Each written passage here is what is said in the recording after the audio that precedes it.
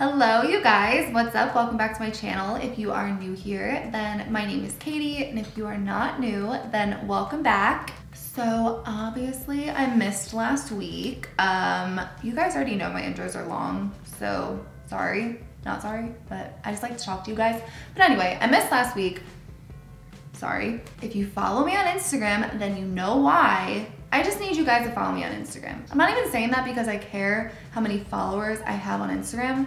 I just care if you in particular follow me on Instagram, you know? I feel like it's the easiest way for me to communicate with you guys. Long story short, Junior is like the sweetest dog. He's literally everyone's favorite, but he's like so skittish and jumpy.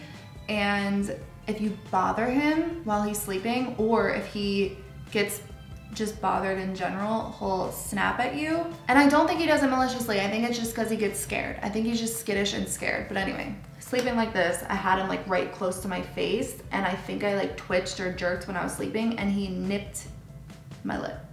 You literally can't even see it now because I put makeup on. That's like half the reason why my base is already done. But it looked really nasty for the past week and I literally sat with Neosporin and vitamin E oil on it every day, all day, and it just, it didn't look good, okay? So I spared you from me filming with it looking like that. Also, my upstairs is getting done. Well, not the whole thing, just the floors for now. That's all I can afford right now, but I have not lived upstairs in my house since I moved in. Ironically enough, I've been literally living in my living room, so it would be nice to like sleep in a bed. Where I was going with all that was just that I've had contractors here pretty much every single day and on the weekends, drilling, banging, doing all the things. So it's been pretty hard for me to work. And crazy enough, I've been actually sleeping at night. So I haven't really been able to film at 5 a.m. like I used to. And speaking of getting a good night's sleep, this is actually the perfect segue into today's sponsor. I'm getting really good at this, guys. but it's all true. So that's why it's cool. But I would like to give a huge thank you to Beam for sponsoring today's video. So Beam is actually such a cool company and it has a really cool backstory. Beam was actually founded by these two men who are literal ex-CrossFit competitors, ex-Ironman triathletes. And after they were doing this for some time, it really started to take a toll on their body. So they teamed up, got together, and they were like, there has to be a way for us to find something that's natural that we could take that helps us from the pains and aches from doing all this stuff. And that is how Beam really came about. So Beam is actually a full range of all natural, high quality CBD products, and they have all different types of products that were made to help target specific struggles, but do so in a natural way. Being in the nightlife industry for so many years has really just messed me up, and I'm just so used to working throughout the night, and I've struggled so hard with just trying to get to bed at a decent time. And this is the first thing that I've ever tried that has given me any hope because it actually works. And to be honest, I feel like it works a little too good because now I'm in bed by like nine o'clock and it's nice, don't get me wrong. It, I, I'm like loving it but it's just been hard because the last couple weeks I haven't really been able to get much work done during the day so then not being able to film at night really messed me up but it's it's good this is a good thing so I want to show you guys the magic um, I've been doing a couple different things but this is one of them and this is the dream powder and you guys. This is a game changer. Like I'm just game changer, okay? All I do is I take one scoop of this and I mix it with a hot cup of water and I drink it before bedtime and it has literally helped my sleep quality improve so much you have no idea. And if you're wondering what it tastes like, it kind of tastes like like cinnamon hot chocolate. And I switch between this and then they also have capsules too. So these are the little capsules that you can take and then you just take two of these before bed. And obviously you guys know that I edit my own videos and you see me obviously when I'm filming and I just I get super distracted, I go on tangents, you know how it is. So I also take these focus capsules and I'll take two of these right before I go to edit or right before I'm trying to like research, you know, upcoming topics and trends and just different topics for video ideas. This has helped me a lot. And it's actually made with nano CBD, so it dissolves quicker and it's way more effective. And just so you guys know, there's zero THC in these products, 100% guaranteed. This is all natural CBD, no THC in any of their products. If you guys are interested in Beam at all, I'm gonna go ahead and leave a link in the description box. And I really just encourage you guys to just go check out their website, look at their products, do your research, and if you end up wanting to try any of their products, you can actually use my discount code and you will receive 20% off of a full-size product. So I just wanna give a huge thank you once again to Beam for sponsoring today's video. And with all that being said, we can actually get into today's video. And today's video is going to be me trying Kylie Cosmetics for the first time ever. So if you would like to see me try the new Cheetah collection and try Kylie Cosmetics for the first time, then just keep watching. All right, let's hop into this package because I've been waiting to open it with you guys. This is the Kylie Cosmetics Cheetah collection and ideally I wish this video would have went up a week ago, but we already went through that. So I know I've kind of played around with brand collabs before, but you guys know how I feel about brand collabs and this is not a brand collab. This is an actual person's brand. So I feel comfortable reviewing it and giving, you know, critiques and stuff like that. So it's gonna be a little different, I guess. Um, be quiet. The packaging is really pretty, I'm not gonna lie. She is stunningly beautiful. Like, we can't deny that. I mean, regardless of like however she got there, she's beautiful. There is glitter on the packaging though. I would personally prefer to not have glitter all over me, but it's not my brand, so she can do whatever she wants. This is what I was most excited about. So let's open this baby up. I'm not gonna do swatches or anything like that because I'm like not that much of an official review channel yet, okay? This is what the palette looks like. This is a highlighter. Ooh, I like this packaging. I love brown and nude. These are my vibes. It's like a gold champagne color. And then the lip kit, I don't even remember what this stuff looks like, honestly. Oh, cool, it's like a neutral. And then these are lashes. I'm not gonna lie, I'm not gonna use these. This is a high gloss set. What does that mean? Oh, they're glosses. That's what that means. So we have this champagne glitter color, kind of like a pinky nude color. This is like a corally salmon sparkly color. And then this is like a deeper nude color. And then lastly, I wanna say these are the eyeshadows. This is like champagne color. And this is like a rosy gold all right, y'all, so that is the full collection and I clearly already have my base done. So we are going to hop into the eyes first. I'm different. First, I'm gonna hop into Seeing Stripes on a MAC 286 brush and this is like a really pretty mustard color. Now, obviously, this is the first time that I'm ever using shadows from Kylie Cosmetics, so I don't know how they perform. Um, I'm just gonna kind of tap this in like this and lay the product down. And then I'm going to go back and forth in windshield wiper motions.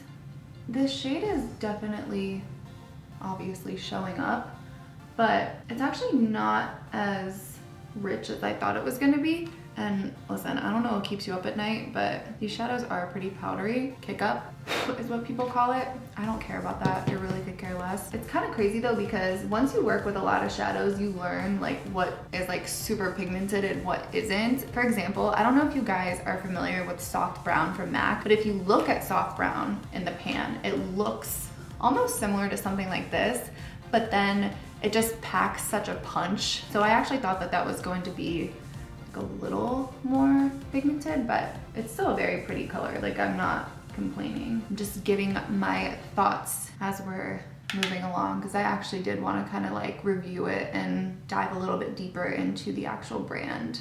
So just to keep it simple, I'm just going to use the same exact brush and I'm going to hop into Cheetah Girl. That's this like orangey color. I'm going to keep this color a little lower and just by judging off of the texture of the shadow, the reason why I'm tapping it in first is because I don't want it to just fluff all over my eyes, so I want to be a little more precise with it. As time goes on and you get to work with different shadows, you'll see like what's pressed harder and you know, if these shadows are pressed a little bit harder, I'd feel more comfortable kind of going in and starting to do like windshield wiper motions, but you just learn to work with different textures and that doesn't mean there's anything necessarily wrong with it. It just means that you have to learn to work with whatever texture shadow that you're working with. So if you are working with a more pigmented and lighter pressed shadow, then you will have to be like a little, you know, just a little more careful with what you're doing and there's there's nothing wrong with that. A lot of times people will see kick up and they'll just say like, "Oh, I don't want to work with that." But I think that I just view makeup as like an art and I like to figure out how to work with what I have instead of just writing it off and being like, oh, I don't want to work with this. And honestly, I'm just someone who always likes to do their base first and I've learned how to just kind of like get around it, but there is some fallout right here if you could see that. All you have to do is take a powder brush, something like this, and just flick up. Some fallout does stick and stain, but this just flicks right away. And you can always actually put a little bit of translucent powder under your eye as well, or you could just do your eyes first. Now taking my dog chewed MAC 217 brush, I'm going to hop into Feline Fine. Now that's interesting because this shade is actually pressed harder than the other ones. So once again, nothing wrong with that. I'm just pointing stuff out. I'm going to take this and I'm going to pack this into the outer corner kind of just creating like a sunset. And the good thing about these kinds of tones is they look so pretty on every single eye color, so it doesn't really matter like what your eye color is.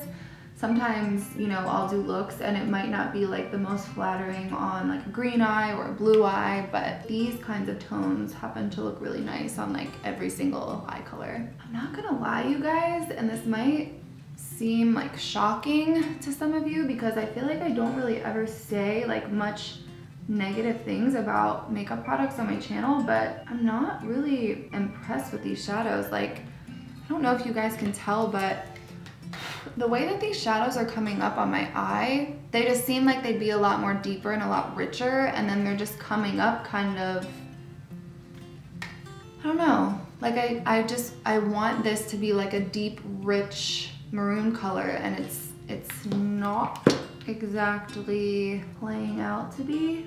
I wonder if I could find a shade that's similar to this in my collection so I can like kind of show you guys what I mean. This is the Morphe 39A, the Born to Create palette. So I'm actually gonna take this shade right here because I feel like that's pretty similar to the one that I've been using. But I'm gonna take my finger and just, that's the Morphe color. And now with a clean finger, I'm going to take this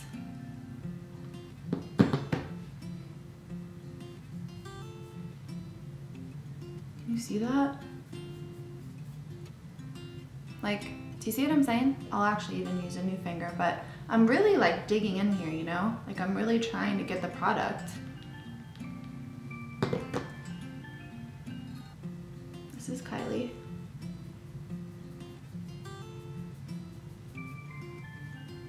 That one's even a little bit better, but mm, should I take my pinky? Running out of fingers. See, this one even like feels like creamier and just like less, I don't know. Yeah, like it's just, this is so much more rich and deep. Like, I just wish that this had a little more depth. I think I'm gonna hop into Golden, Golden Speed and just loading this up feel like I can already tell. You know what? Never mind. I'm not gonna judge it. I'm just gonna, I'm just gonna use it. Okay, I'm going to put this on the inner corner of my eye. You know what? Actually, that is performing better than I thought. I thought it was gonna be wacky. I was trying to pick it up on my brush and it seemed like it wasn't really grabbing onto anything, but that's actually a really pretty color. I stand corrected. And next I'm going to hop into Lucky Leo and I'm going to put that on the center of my lid. So just kind of like blending these two colors together. I'm actually gonna use my finger and see if that comes up any better. So this shade is just like really chunky, but I think that the key is to kind of like smushing those chunks and then you'll actually get the color payoff. Because when you just tap it in, like you don't get that coppery effect, but when you like smash it in, that's when it kind of pops. Like, I don't know if you saw that happen. Like, okay, So if you kind of just tap it like this, like with a brush, like how I would typically apply it, like barely see it, right? And then it's chunky. It's super weird. Look, I'm like digging into this too. Like, do you see that? And then look, if you tap it, it's like barely anything. But if you rub it,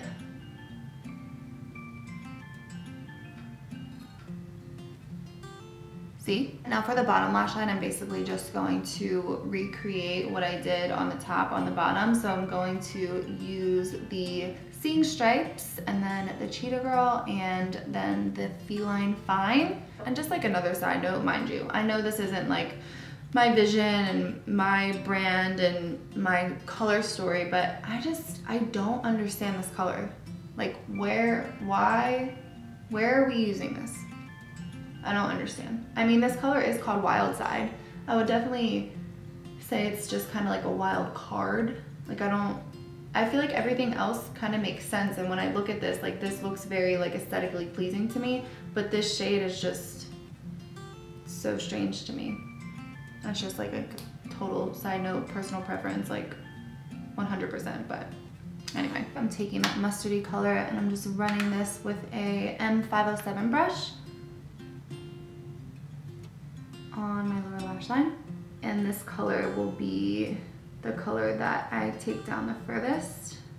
This is like, sorry, this is literally like the third layer I'm putting on now and there's just no depth. Like, like I can definitely get them to be where I want them to be, but I don't know, I would just expect that at this price point that it wouldn't take this much work. Same brush, I'm just gonna go into the orange color.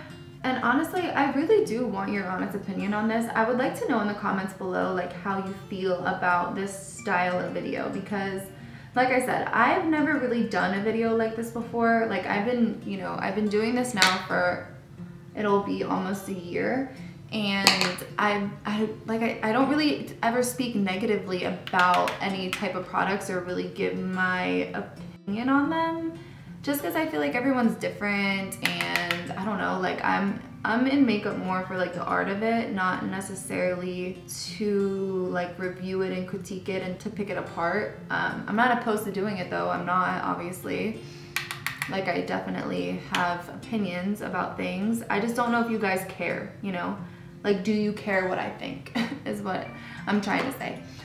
Would you rather me just say like, hey, here's an eyeshadow palette and I'm just gonna try to come up with a look? Or do you like the commentary along the way? Let me know in the comments below. All right, so that is about all I'm gonna do as far as eyeshadow goes. So I'm just going to apply lashes really quickly off camera and then I will be right back. Okay, so this is the eyes all complete and I have kind of just patted out my lips and gotten rid of what I had on prior and now we are going to try out the Can't Be Tamed lip liner. I mean, you guys don't need to watch me do this, but I'm just going to line my lips really quickly. So I feel like I'm just being really negative during this video, but these lip liners are just not my favorite. Like, I'm not gonna lie. I just like a classic pencil lip liner. Like the classic MAC lip liners, even Morphe makes, you know, good like pencil lip liners. This like plasticky, like super, you know, glidey and waxy. Like I, I just like a more firm lip liner and I don't know. Like, I just don't understand using the more plasticky packaging for lip liners. Like, I would even assume it's a little more cheaper to just use a classic pencil. So I don't really get it. The liquid lip is called Can't Be Tamed as well. What does this smell like? I feel like this smells like something very distinct. And I don't like it. What is that? Oh my god. What is? No. Hard no. Yeah, immediately no. Immediately no. Immediately no. What is this? I'm telling you right now, I seen what I needed to see. Did you just see that?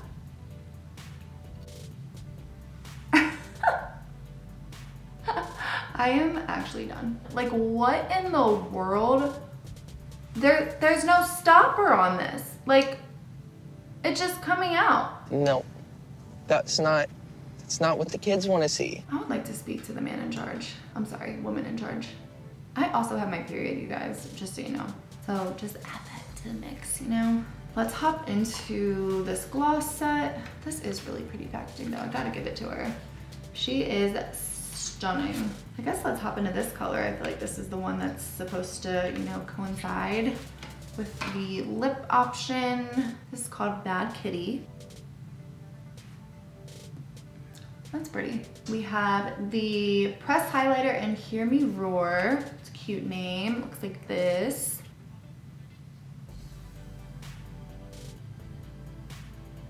It's actually very pretty. I like it a lot. Hmm. I feel like it does leave a cast though.